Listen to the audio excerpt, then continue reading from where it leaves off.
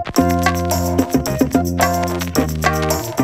everybody, Kristy Glass here coming to you with a finished object. Dun dun dun! The eyeball shawl is finally finished. Let's talk about the eyeball shawl. Okay, I saw Karen K-Pause. I love calling her K-Pause. I saw K-Pause wearing this at Do Ewe Knit when I interviewed her, and I had to have it because what I saw on her neck was this color, this like, was this yarn right here. Sorry, not sorry. Right on her neck and then I saw this cream and then I saw this border, which was amazing. And then when she took it off, I was astounded to realize it was the eyeball shawl because when I saw the eyeball shawl come out, I did not like it. I was like, mm, pass, no, no thank you. But when I saw her wearing it, I had this totally different feeling. And so I said, I want that shawl. I want to make it right now. And she helped me pick out my colors and so here it is, it's done. It's all done. Now I'm still trying to learn how to wear a shawl. I, this is not my strong point. I'm not great at it. I think one of the reasons it's hard for me is because I move around a lot. And so if it's not right, you know, intact, it's bugging me. Okay, let's talk about the yarn I used first. She didn't have all sock yarn. I think she made her all of all of the yarn she used in hers, I think was all sock yarn, perhaps. But she is this, she has this hedgehog wall of fiber and it's all mixed up. So she doesn't do it by color, she's because she's kind of like sees things like an artist, like a palette. And so she can just grab and find all the things. So the very middle of the center iris is the Sorry Not Sorry sock yarn and hedgehog fiber. I have some left over right here. The, the outer part of the eyeball, the I guess the outer part of the iris, I don't know, the, the pigment of your eye, is this one. I'll put it, I'll find out. I'll put it, I'll write it, I'll write it right here. Sorry. Anyway, this is another hedgehog sock yarn. Now for the, the Crybaby, this is Crybaby. She didn't have sock yarn, so she gave me some, some sporty merino. And she said two would be enough, and I don't blame her that it wasn't enough but look how huge my, I didn't gauge because it's a shawl and I'm like, whatever, it's round. And so look how huge my eyeball is. I mean, it's way too huge and it's way loose. And so the rest of it was also way loose, okay? In fact, not only did I not have enough to, to finish the white of the eye, I didn't have, I didn't have enough to go to the whole 65 uh, yards. Yards? 65 rows. I ended up doing 61 instead of 65 and it was fine because it was so huge it was fine but I didn't even have enough so I was like what do I do about the border and I looked up on the Hedgehog Fiber store locator page and found that there were three yarn stores sort of in my vicinity in New York City that carry Hedgehog so I took a gamble and I went to Annie's on the Upper East Side and they had Crybaby in sock and I'm like that's perfect because I have jelly in sock for the border. So these two as sock I think will end up being a better fit for the border. What's interesting is this version of Crybaby was a lot bolder and brighter and had just more speckles in it than the Sporty Merino sort of lot that I had gotten at Karen's.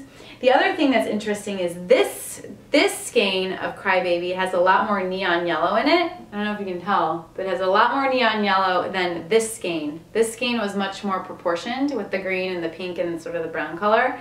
So that was interesting. And I don't, I don't know much about alternating skeins, and I don't think I would have done that for this project because it doesn't really matter, but that was something interesting that I no noticed.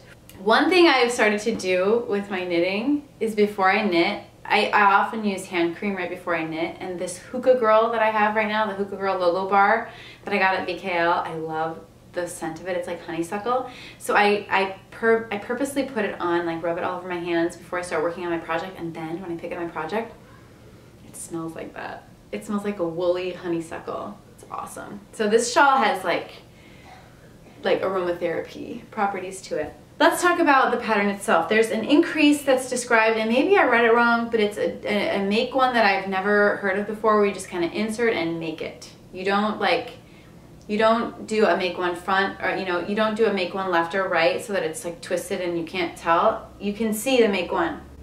And I asked Lavanya Patrasella, who was a test knitter for this, about it, and she's like, eh, I think she was a little confused at what I was talking about, but it ended up giving it kind of an eyelet look, which I liked. So you can kind of see where the increased rows are, right? Because it has sort of an eyelet effect. And I'm not sure if that was, maybe I read, maybe I read it wrong, but I liked how that ended up looking. I thought it was cool. I've never knit in the round like this before. It reminded me of crochet for a second. This cast on in the middle is just like a crochet magic loop in the middle. So that was really exciting and fun to, to do for the first time, knitting in the round. Loved that about the pattern. I really like that the main white part is the sporting merino because it's a bit softer than the sock yarn and I like that about the shawl. It feels nice and really warm on me. The I-cord border took forever and it does look nice but I it's curling even though I blocked it it's curling and it's a little tight so I don't know if I did it you know I maybe I should have been a little looser but I can't get the shawl to lie flat which who cares because it's a shawl I'm gonna be wearing it but that's one thing that I another human error, I think. Um, I don't blame it on the pattern. It's really big. It can be like a little, it's a, it's a shawl. Like it's, it covers my whole body. It's like a blanket. So it, it's, I love how substantial it is and soft. I love the pink color. I love this brioche border. The brioche was really fun. I only had a little difficulty with it right at the beginning of the round for some reason. It just looks funky. So I tried to fix it a little bit when I was weaving in the ends, but who cares, you know? Like no one's gonna pay attention to that one little section. I never had to frog anything back on this project. What a miracle. I mean, there was one point when I had to un to tink, tink a little bit, but it was just a tiny bit. So I was really grateful that I didn't have mistakes. I like how you increase with the brioche. I think this is really cool on the points. I think that is a really fun effect. I hadn't done that with brioche before. I have a feeling you find a lot of that with Stephen West, so that's cool. So that's what I have to say about the eyeball shawl. I, I have seen a billion different versions of it with all different kinds of colors. I love that mine is pink. I still love it. I've experimented with different ways of folding it and wearing it. And I can't decide what my favorite way is. I've even like folded it like this in half so that I, I get that effect with the, the purple right next to my face. I really like that. And then you kind of like wrap it around with the border a bit. Let's see. I'm still working on how to be a good shawl wearer. I'm not, not that good at it. But I mean, I love how it's so nice and bulky. I kind of lost. Here we go. Get that pink up in there. I love how it's nice and bulky and it doesn't look like an eyeball when you have it on. That's That was really important to me. I have nothing against eyeballs and eyeball art is really cool. In fact, I made a huge eyeball on my recent Share the Love Yarn Bomb. But I, I that turned me off to the shawl. So this, wearing it like this, is what I love about it. I love these triangles with the brioche and the stripe and the and the white. I love that. And this is my first time, actually it was my second time working with hedgehog. I had done a little hedgehog in my other Stephen West pattern, my Penguono, but it was just one section and it, it, it I loved how it turned out, but this is my first all hedgehog shawl and I get it. Like I get it now. After making this, even though it felt like forever, like took forever. I really liked seeing it all come together. I really loved watching how the colorway changed. And it's really making me excited to go back to Do Ewe Knit with Karen and pick out some more hedgehog. Like it's working. I've, I have sipped the Kool-Aid and I am now, uh, yeah, I'm in it. I'm in it. Every time I was making this eyeball shell, I kept thinking, what, what will my posterity think when they are going through my pieces and they're like, what? What's this one that grandma made? Because um, I think it's a little, I think it's a really nice piece to, to mark time.